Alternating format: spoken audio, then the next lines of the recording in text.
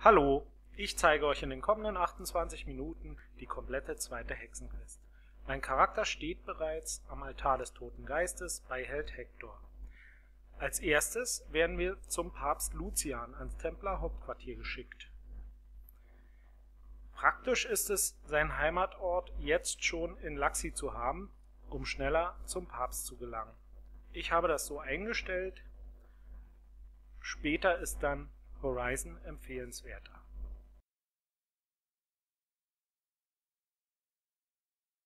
Portet euch zu Laxi Anka und vom dortigen Teleporter könnt ihr euch entweder zur Sireneninsel oder zum Echsenmenschen-Habitat porten.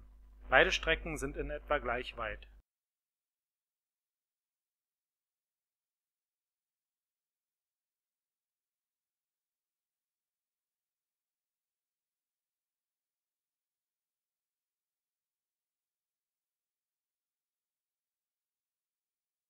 Wie jetzt gut zu sehen ist, befindet sich das Templer Hauptquartier auf der Map bereits in Sichtweite.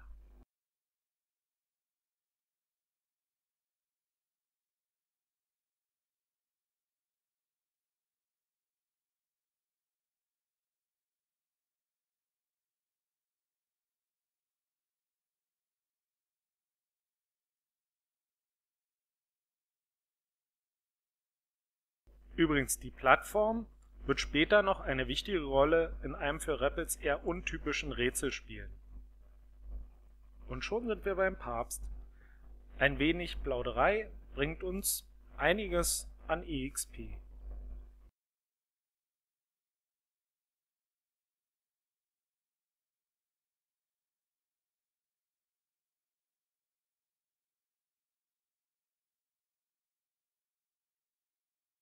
Weiter geht es Zurück zu Held Hector, jetzt erstmal via Laxi, aber ich stelle, sobald ich in Horizon bin, hier meinen Heimatort ein, da ich jetzt mehrmals schnell zurück zu Hector kommen muss.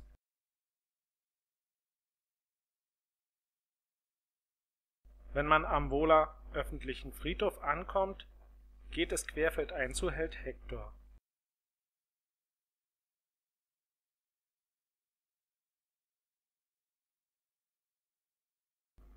Wir passieren einen roten Mannerstein, der später für die Talentpunkt-Sammelquest vorgemerkt werden sollte, da die roten Geister 9 Punkte bringen im Gegensatz zu den kleinen grünen Steinen.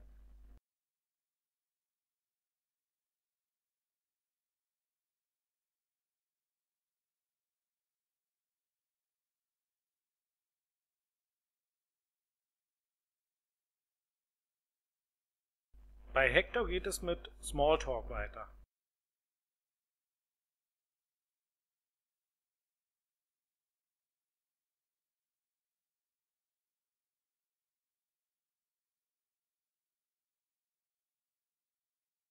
Am Ende schickt er uns zum experimentellen Magiefeld, wo wir Fanatiker killen sollen. Diese spawnen, sobald wir unseren Charakter ein wenig bewegen, das erste Mal und für den zweiten Schub einfach weiterlaufen.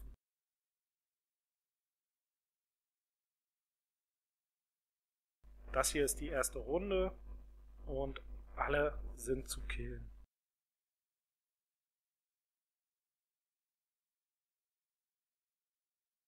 Und schon sind die zweiten da.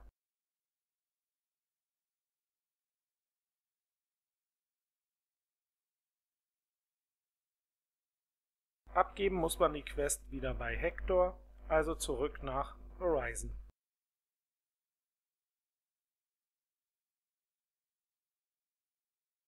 Und weiter zum Friedhof.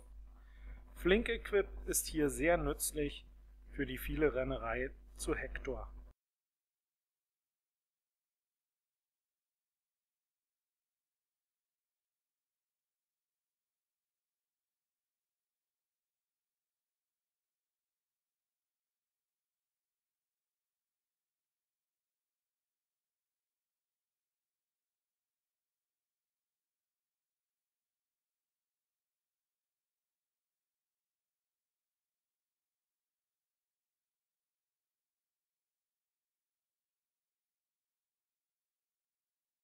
Held Hector versorgt uns gleich mit der nächsten Quest und schickt uns in die Sirak-Ruinen. Auch hier heißt es erstmal eine kleine Runde drehen, um die Mobs zum Erscheinen zu bringen. Jetzt sind sie schon da. Ich suche nur noch eine gute Position und los geht's.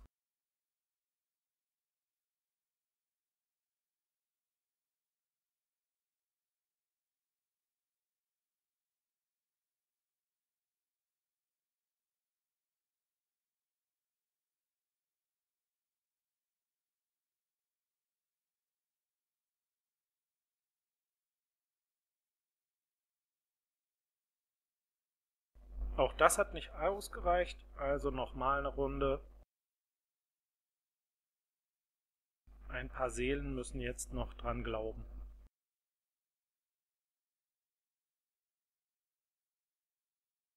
Und wieder dasselbe Spiel, via Horizon geht's zurück zu Held Hector.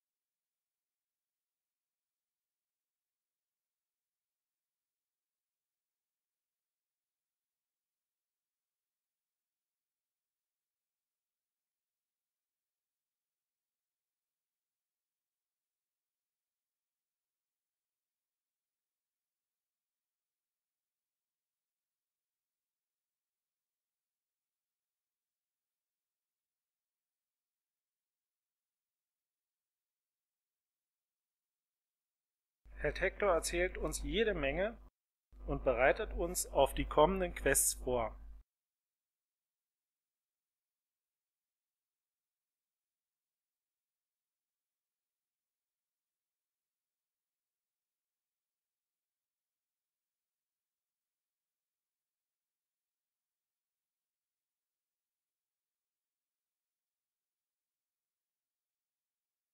Beim nächsten Sprung von Hector kommen wir wieder zum Templer Hauptquartier. Jetzt müssen wir die Statuen sammeln. Kleiner Tipp, die linke lässt sich zweimal sammeln, das erspart etwas Rennerei.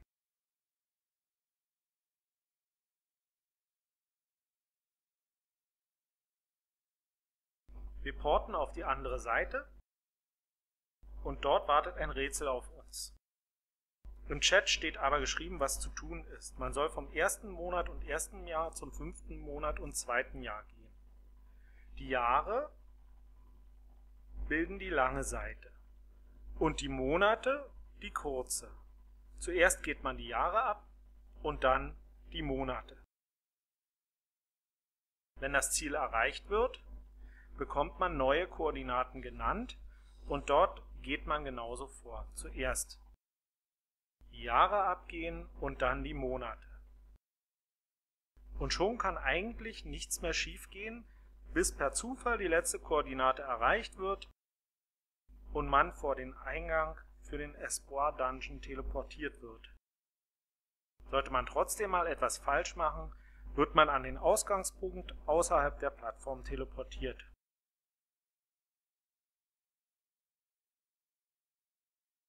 Mit Abgabe der Quest ist man dann auch definitiv Level 139. Nun kann der Dungeon betreten werden und es kann sein, wie in diesem Fall, dass man sofort von 145 plus Mobs attackiert wird. Questmäßig muss man sich jetzt aber erstmal ein wenig durchschlagen.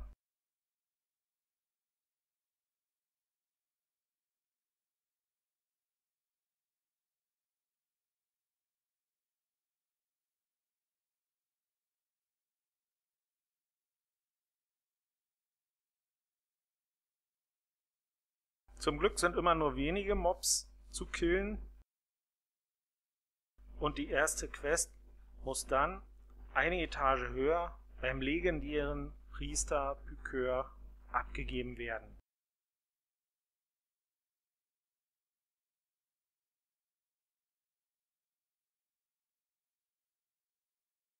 Recaratron macht weiter mit dem nächsten Auftrag, der auf derselben Ebene eine Plattform daneben losgeht. Auch hier geht es darum, Priester zu töten.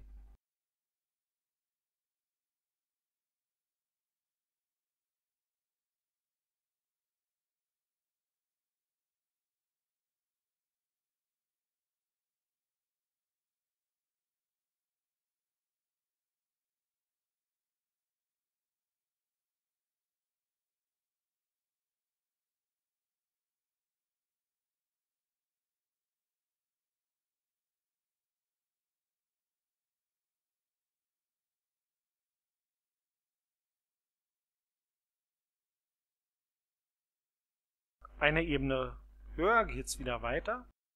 Hier sind auch noch ein paar Priester zu töten.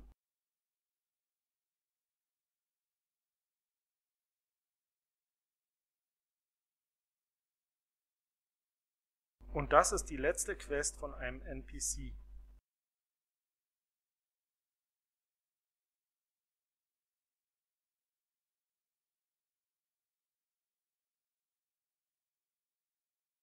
Wenn alles erledigt ist, können wir einmal den ganzen Raum hier durchqueren, um die nächste Quest zu lösen. Ich nehme die unterwegs an. Und es geht lediglich darum, ein Areal zu betreten.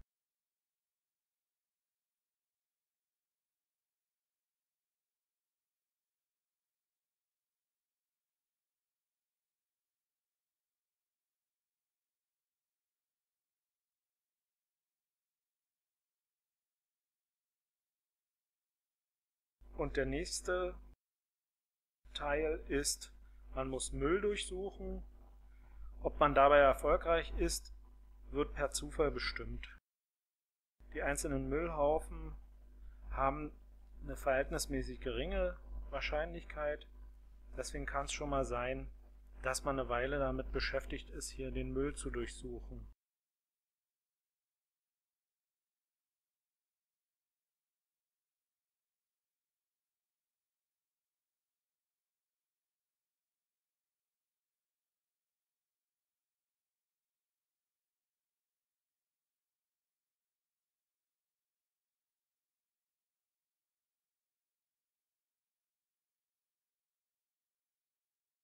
Die nächste Quest ist die Müllschredder-Quest. Hier bekommt man auch eine besondere Belohnung, das Teufelsmädchen. Und wir haben an diesem Punkt der Questreihe Glück, denn der Boss ist direkt da. Nachdem nun der Boss down ist, muss für die nächste Quest lediglich das Portal benutzt werden und es wartet der nächste Gegner auf uns, Schattenexplosion. Aber erstmal wird das Teufelsmädchen in die Forma gepackt und dann geht's durchs Portal. Leider haben wir kein Glück und müssen auf Schattenexplosionen warten.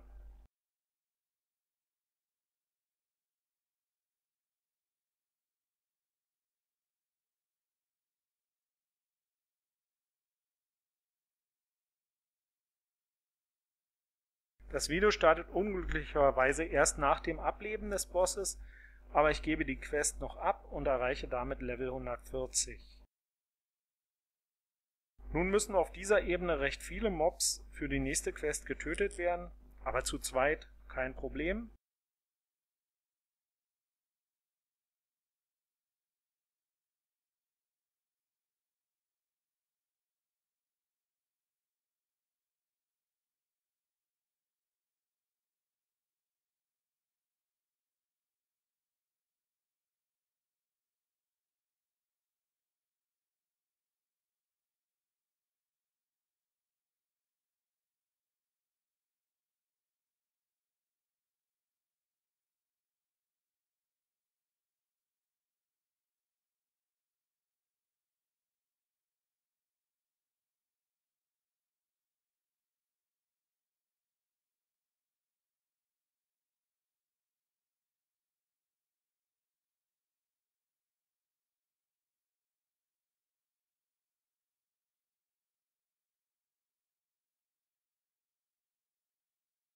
Man sollte auf alle Fälle höllisch aufpassen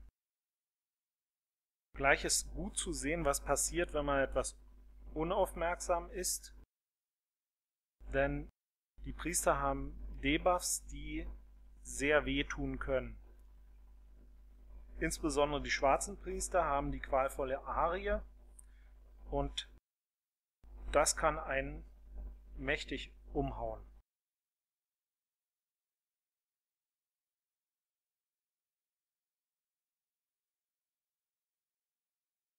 Und hier kommt sie, die qualvolle Arie, und einmal tot.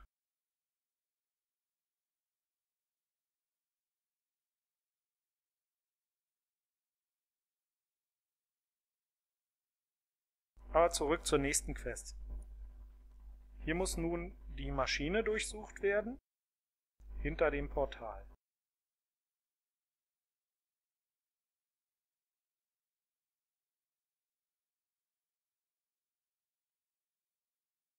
Danach müssen wir nochmal die Plattform überqueren, versuchen nicht zu sterben und einfach den nächsten Raum erreichen.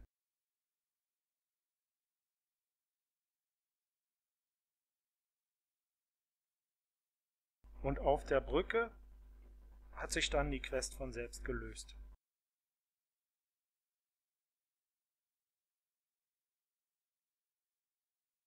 Die nächste Quest hat eine Zeitbegrenzung.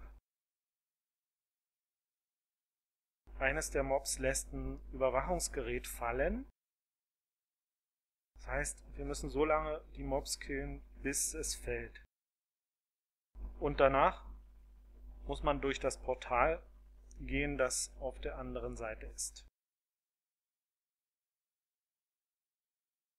Was nun an Quests auf uns wartet, sind wohl die am leichtesten gesammelten EXP im Leben eines Charakters in Rappels. Insgesamt müssen fünf Lichtsäulen für jeweils 61 Millionen EXP gesammelt werden. Auch die nächste Quest ist eher keine Herausforderung, Aber zunächst geht es erstmal um die Lichtsäulen.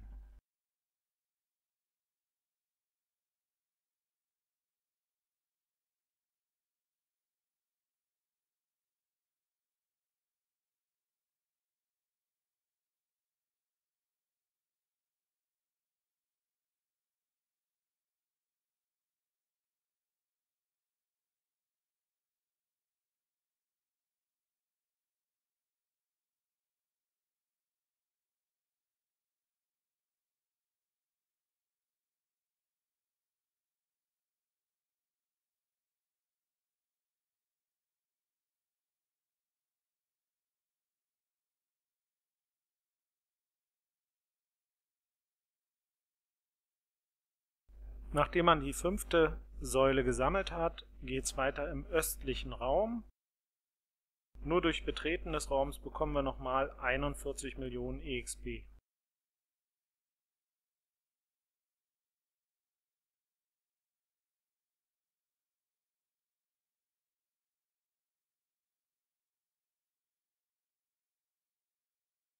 Die Folgequest heißt einfach ein paar Mobs killen in diesem Raum das alles geht auch recht fix vonstatten.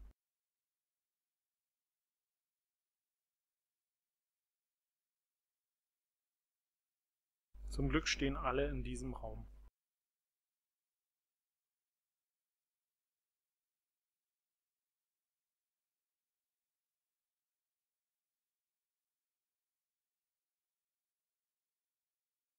Nun muss Hektors Biografie untersucht werden Dazu geht man am besten die Treppe hinauf und untersucht von oben. Denn da ist man garantiert ungestört. Man muss nur die richtige Position finden und dann geht das ganz, ganz leicht.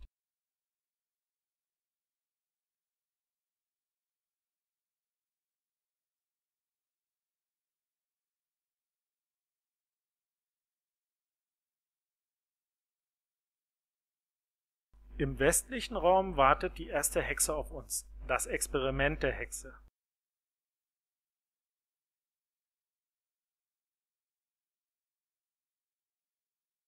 Wie gut zu sehen ist, kommen uns gerade zwei entgegen, die die Hexe gerade vernichtet haben. Es ist Zeit zum Warten.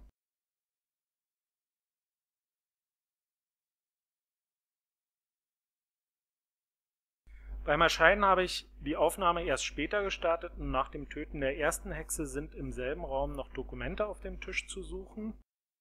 Und weiter geht es im südlichen Raum mit dem Experiment der wahren Hexe, die ein etwas härterer Brocken ist. Sie ist noch nicht da, wird aber gleich erscheinen.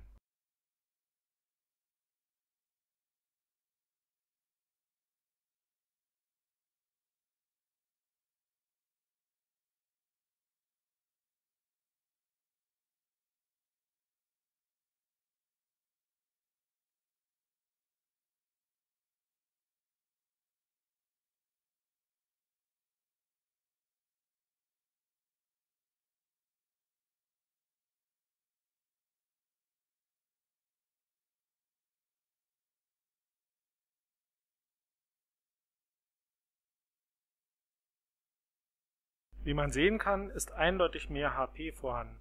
Die Pads brauchen etwas länger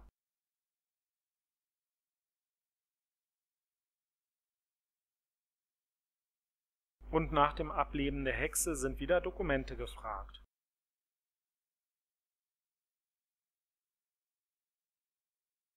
Also rauf auf den Tisch und suchen.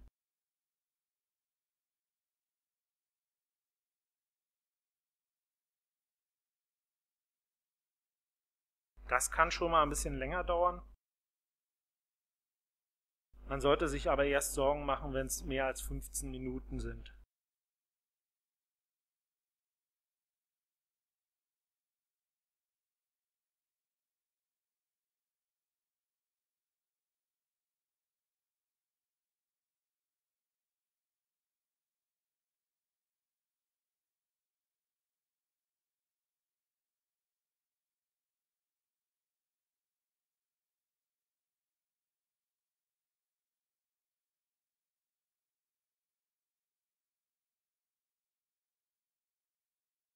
Für die nächste Quest sind der westliche und östliche Raum nötig.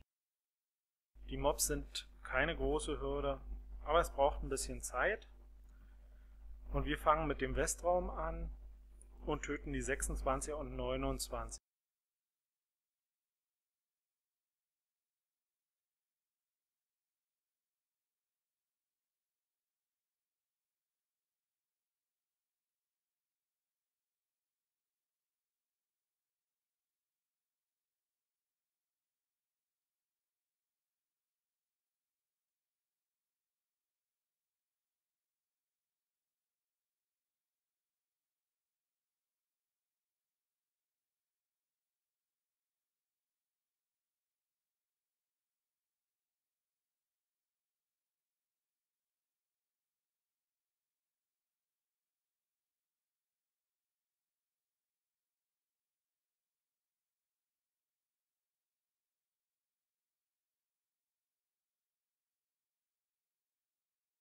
Im Ostraum schließlich werden die Zweier-Hexenfanatiker getötet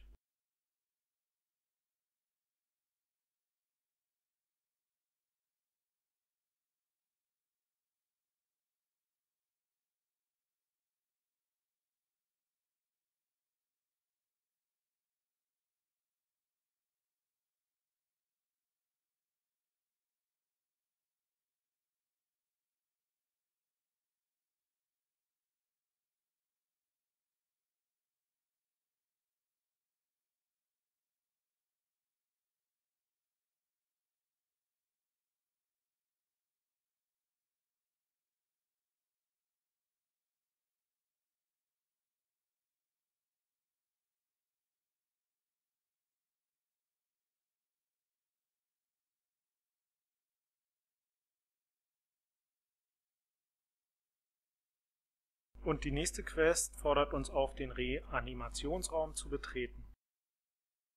Dazu müssen wir in den Südraum gehen und das Portal an der Außenwand benutzen.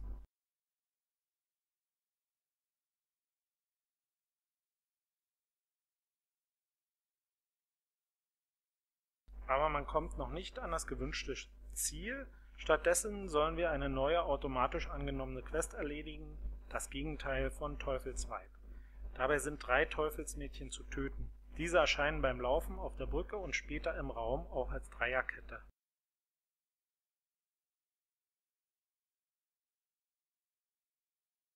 Wir haben ordentlich HP.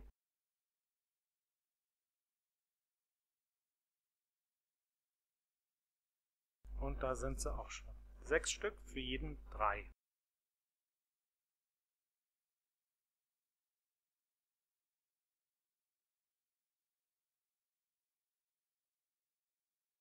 Und mit dem Abgeben der Quest ist der Weg frei zum Reanimationsraum.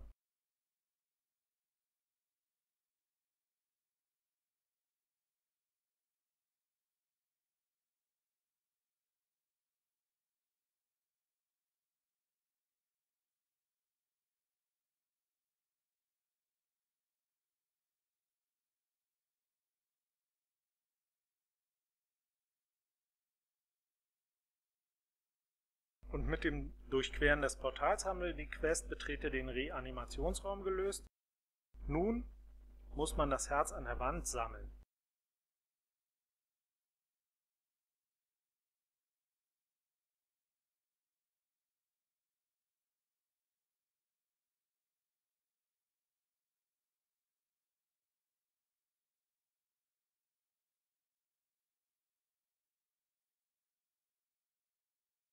Und dann geht's auch zur ersten Runde, das Töten von Lucians dunkler Begierde. Das ist noch nicht schwer, wie man sieht.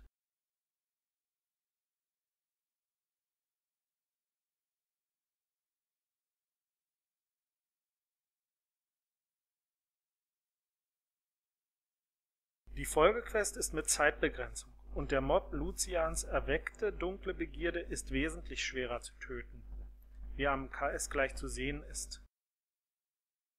Aus diesem Grund gibt es hier auch noch ein drittes Pad zur Unterstützung. Knapp 15 Minuten sind aber völlig ausreichend.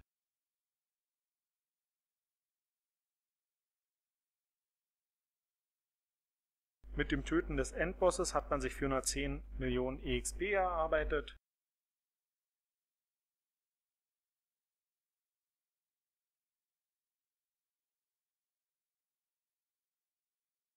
und man bekommt seinen Teleport zurück zu Hector. Abschließend gibt's noch zwei Quests mit EXP. Das war Hexenquest 2.